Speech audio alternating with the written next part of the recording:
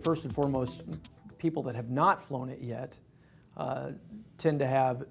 a, a, great deal of misconception about what it is and what's available. Uh, everyone seems to understand that it gives you glide slopes for non-precision approaches and kind of leave it at that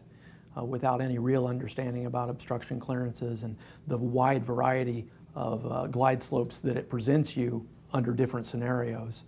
and how you're going to utilize those, when you would expect to see those, when you would not expect to see those, and why. Uh, and the people that have flown the WAAS already tend to have a pretty basic understanding of those sorts of things, but come at me with more of the, it's amazing technology and I'm having a lot of fun and it really works great when I understand it. But I got it, I got three hours of training in the airplane on the day that I got it, where we did five or six approaches and the instructor waved goodbye and now I'm on my own to learn, you know, what are quite literally thousands of variations. First of all, the most appropriate training is just a very quickie, sort of a ground school, um, you know, just a one-on-one -on -one with the instructor of talking about what it is that's been installed in the airplane, what's different, and what, what we expect to see when we go out and fly, okay, with maybe a, a mild introduction to some approach plates. And then go out and fly some approaches, show it to the two of them in the airplane so that they get that visual connection in their brain.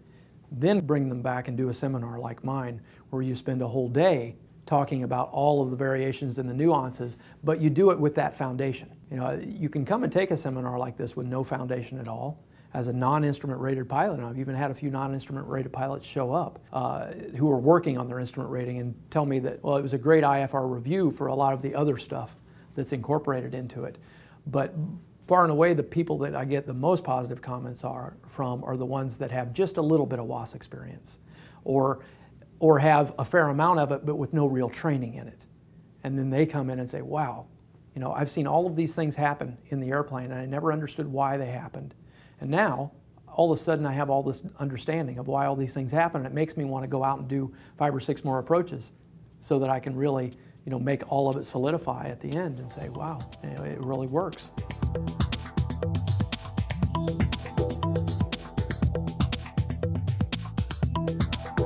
Aero TV is brought to you by